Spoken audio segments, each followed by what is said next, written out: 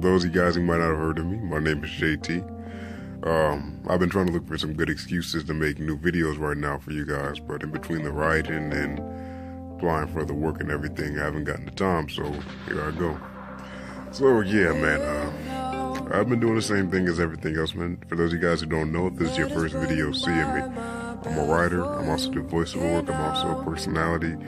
Um, I'm also a linguist. I currently speak three languages, English, Portuguese, and Spanish. I want to lie to you and say I speak Italian, but I don't. I'm trying to work on that right now. Like, I can, I can say the cuss words, but I can't say like, have real good sentences in it. So that's my thing. And um, lately, I've just been working, man. I've been trying to get these these ideas off the ground.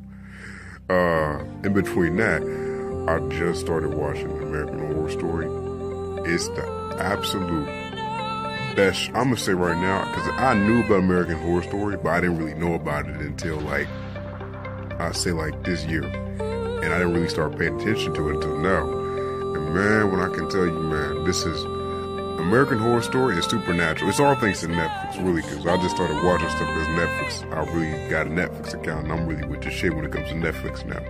Like those two shows right now are my favorite shows I'm gonna say for 2015: Supernatural and American Horror Story.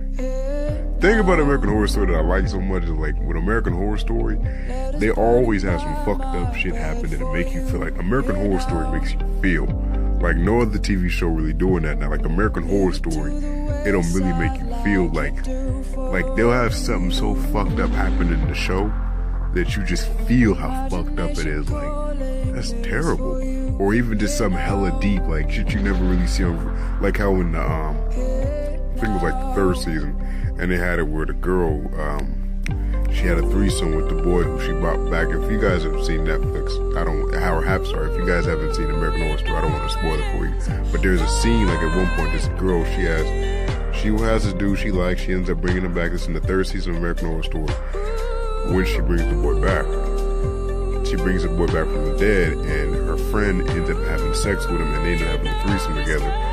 I'm in there thinking like, like man, what TV show now would they really have a threesome on TV? Like, that's some gangster shit. And um, I've really been up to Netflix, man. Netflix is taking up most of my time. Um, I just started watching uh, Jessica Jones too. Jessica Jones.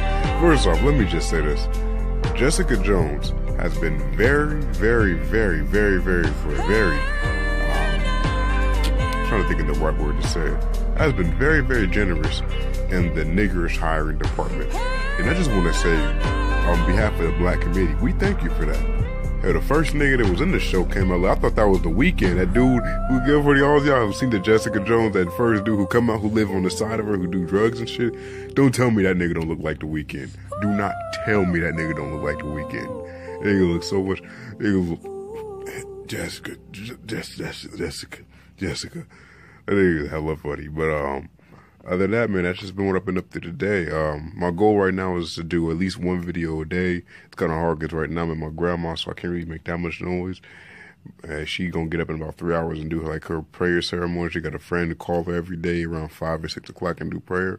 But that's just me, man. Um, go to my page, like Dream for You Publishers.